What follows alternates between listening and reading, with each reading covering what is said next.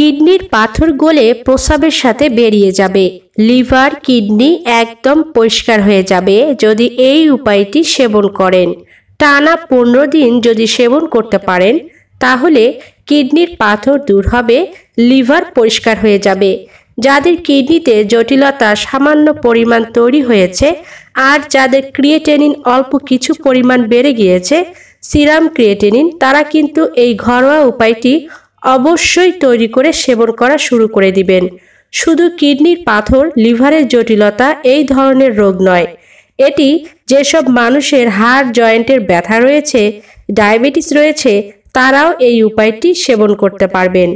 এই ঘরোয়া উপায়টি সেবন করতে হবে টাটকা টাটকা, অর্থাৎ যখনই এটি তৈরি করবেন তখনই সেবন করে নেবেন। আর চেষ্টা করবেন উপায়টি সকালবেলায় খেতে। সকালবেলা নাস্তা করার পূর্বে এটি সেবন করবেন।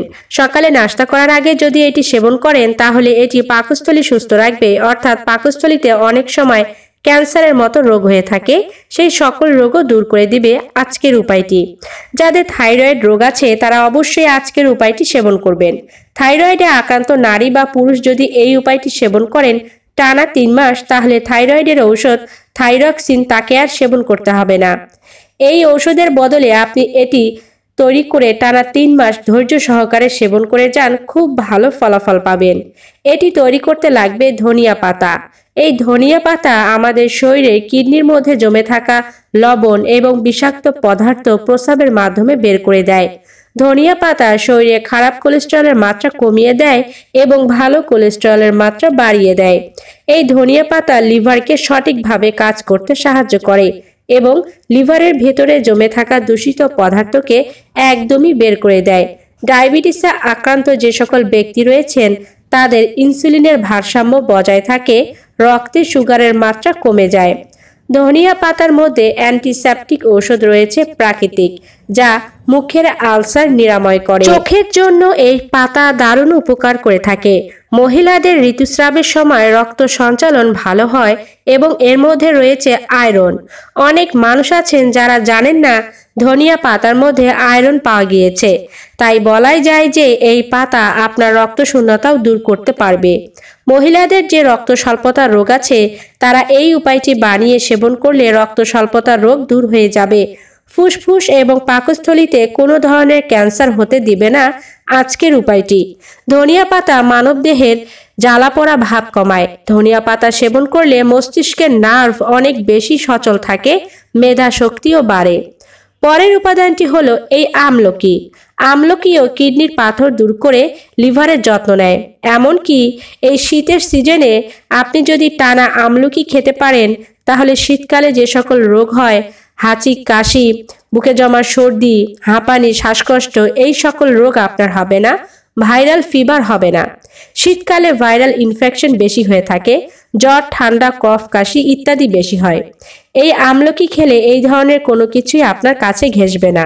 আমলকি খেলে আপনার লিভারের শক্তি বৃদ্ধি পাবে কিডনিকে সচল রাখতে সাহায্য করে আমলকি? আমলকি নিউমোনিয়া রোগ প্রতিরোধ করে। আমলকি রস করে খেলে কোলেস্ট্রল কমে যায়, দৃষ্টিশক্তি বেড়ে যায়। এবার চলুন জানি যে এটি কীভাবে তৈরি করতে হবে। এই জন্য ধনিয়া পাতা লাগবে এতটুকু পরিমাণে। একদিনে খাওয়ার জন্য এবং একজনের জন্য এতটুকু পরিমাণ ধনিয়া পাতাই যথেষ্ট। ধনিয়া পাতা ভালোভাবে পরিষ্কার পানি দিয়ে ধুয়ে নিতে হবে। এটি আমি মিক্সারে রেখে দিলাম। এরপর লাগছে এখানে তিনটি আমলকি। একদিনে একজনের জন্য তিনটি আমলকি যথেষ্ট। আমলকিও ধুয়ে ধনিয়া এবং আমলকি আমি মিক্সারে রেখে দিলাম। এবারে এর মধ্যে আমি যোগ করব এক গ্লাস পরিমাণ, অর্থাৎ আড়াইশো মিলিলিটার পানি। এবারে আমি সবগুলো উপাদান ভালো করে ব্লেন্ড করে নিচ্ছি। দেখুন, এটি তৈরি হয়ে গেছে। ছাঁকুনি দিয়ে একটি গ্লাসে ঢেলে নিলাম। এটি এভাবেই সেবন করবেন। কোনো প্রকারের লবণ, চিনি, লেবুর রস কিছুই মেশাবেন না। সকালে ঘুম থেকে উঠে দুই গ্লাস পরিমাণ হালকা উষ্ণ গরম পানি পান করার পনেরো মিনিট পরে এই পানীয়টি সেবন করে নেবেন, তিরিশ মিনিট পরে সকালের নাস্তা করে নেবেন। চমৎকার রেজাল্ট পাবেন। দারুণ একটি রেমেডি তৈরি করে আজ আপনাদের দেখালাম। এটি খাওয়া শুরু করুন, পনেরো দিনের মধ্যেই রেজাল্ট পাবেন। যারা কিডনির পাথর, লিভারের রোগ, ডায়াবেটিস থাইরয়েডের রোগে ভুগছিলেন, কোলেস্টেরলের মতো সমস্যায় ভুগছিলেন, পাকস্থলীর সমস্যায় ভুগছিলেন, তাদের যাবতীয় রোগ দূর করে দিবে আজকের এই পানীয়টি। এই ছিল আমার আজকের গুরুত্বপূর্ণ একটি ভিডিও।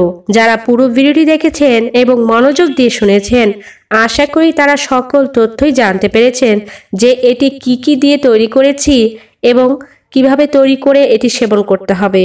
কতদিন সেবন করতে হবে? অবশ্যই টানা পনেরো দিন কিন্তু সেবন করবেন। আজ খেলেন, কাল খাবেন না, এমন করলে হবে না। টানা পনেরো দিনে আপনাদের নিয়ম করে একই সময় সেবন করে যেতে হবে। ভিডিওটি ভালো লাগলে অবশ্যই লাইক দিন। সে সাথে ভিডিওটি প্রচুর মাত্রা শেয়ার করে দিন। সকলেই ভালো থাকুন। ধন্যবাদ।